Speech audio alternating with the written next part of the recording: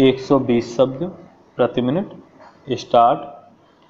अध्यक्ष महोदय, मैं सिंचाई विभाग से संबंधित प्रश्न उठाना चाहता हूँ। महोदय, मेरा पहला प्रश्न यह है कि मेरे विधानसभा विकास खंड के अंतर्गत दो स्टाफ डैम कई वर्ष पहले बनाए गए थे। उनमें से एक स्टाफ डैम में पानी रोकने के लिए गेट नहीं लगे हैं। गेट के अभाव में पानी एकत्र नहीं हो पा रहा है। यदि पहले से तालाब में गेट लगे होते तो पानी इकट्ठा हो जाता और किसानों को सही वक्त पर सिंचाई के लिए पानी मिल जाता। महोदय, फ़सल सींचने के लिए पानी की ज़रूरत होती है। पानी नहीं मिलने के कारण उपज अच्छी नहीं हो पा रही है और किसान को प्रगति पर निर्भर रहना पड़ता है।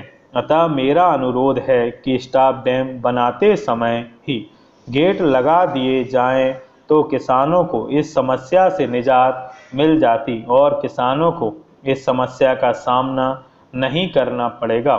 स्टाफ डैम में गेट लगने से शासन का जो मूल उद्देश्य है, उसका पूरा पूरा लाभ किसानों को मिल सकेगा। उद्देश्य की भावना के अनुसार काम न होने से किसानों को लाभ नहीं मिल रहा है। मेरे यहाँ एक और बड़ा तालाब है, जो काफ़ी बन चुका है। साल भर से निर्माण कार्य बंद पड़ा हुआ है, जो 80 प्रतिशत कार्य साल भर पहले हो चुका था।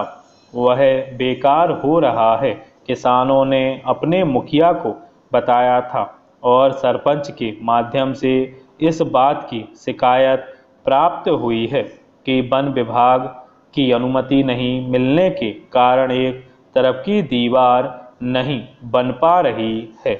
इस दीवार के कारण जनता को इसका लाभ नहीं मिल पा रहा है तथा इससे होने वाली सिंचाई भी प्रभावित हो रही है।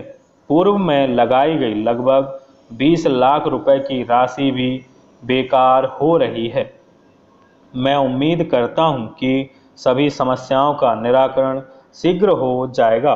उपाध्यक्ष महोदय, अब मैं आपसे अगला प्रश्न करूँगा कि मेरे ज़िले के रेत खदानों की किस्त, कतिपय लोगों की मेहरबानी और मिली भगत से जमा नहीं की गई है। ऐसी लगभग दस खदानें हो सकती हैं, जिनका अनुबंध ही नहीं किया गया। इस प्रकार लाखों रुपए की हानि सरकार को पहुँचाने का प्रयास किया जा रहा है। ज़िले के खदानों के माध्यम से जो रॉयल्टी ग्राम पंचायत को प्राप्त होती थी, वह नहीं मिल रही है। रॉयल्टी प्राप्त नहीं होने के संबंध में सरपंचों द्वारा शिकायत की गई है।